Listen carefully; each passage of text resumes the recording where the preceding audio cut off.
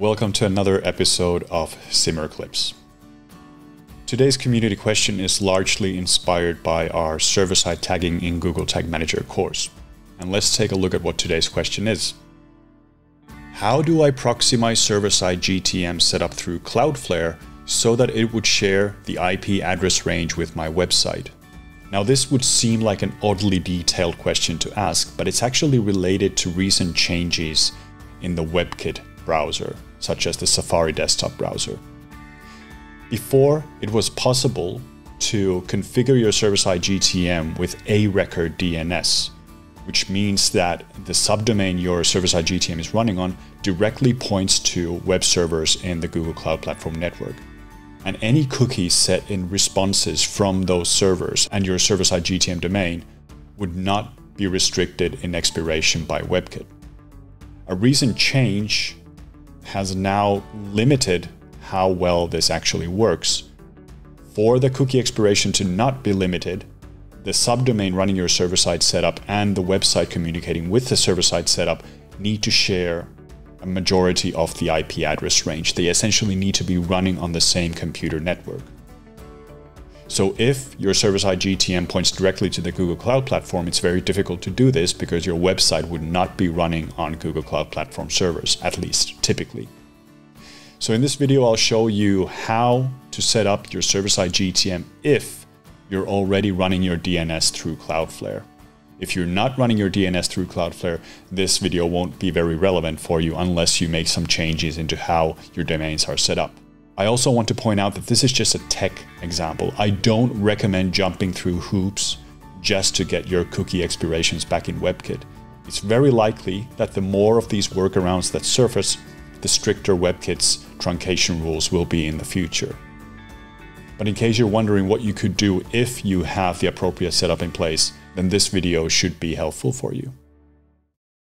In the newest versions of the Safari browser, you can see how the server-side cookie no longer has an extended expiration.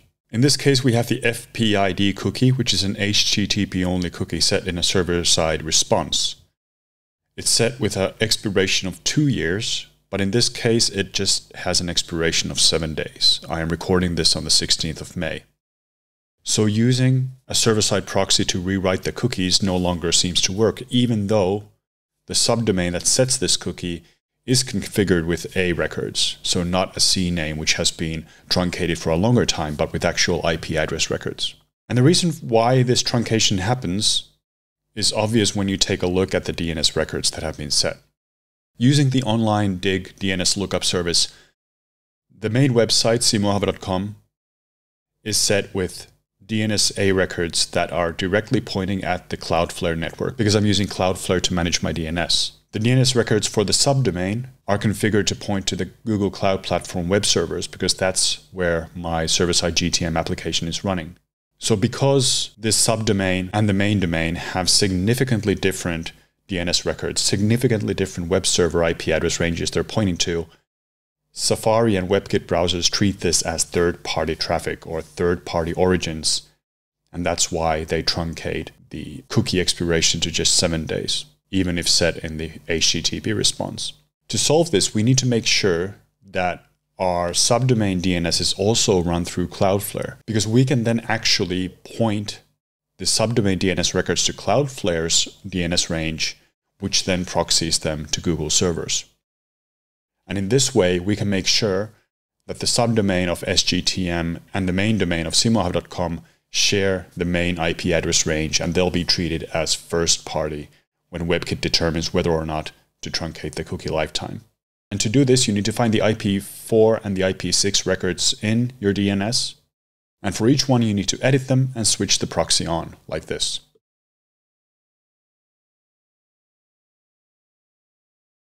And do this for all eight records.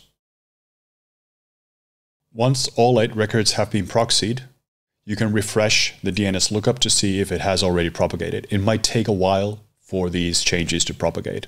So wait patiently. So once the propagation is complete, we can compare the main domain IP range to the subdomain IP range, and we can see that the first half of the IP address matches between the two. So this should be enough for WebKit browsers to treat these as first party origins and not do any place any restrictions on the cookies.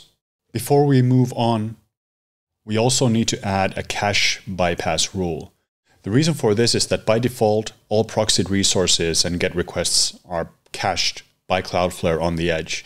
And we don't want this. We want all of our server-side GTM resources to not be cached on the edge because there are certain processes such as preview mode which rely on fresh resources being fetched from the server-side location. So to do this, go to cache rules under caching, and here you can create a rule and in this case, we create a rule which we've named bypass server-side GTM. And when incoming requests have a host name that equals the server-side subdomain, then we want to bypass the cache. And then we'll deploy this rule.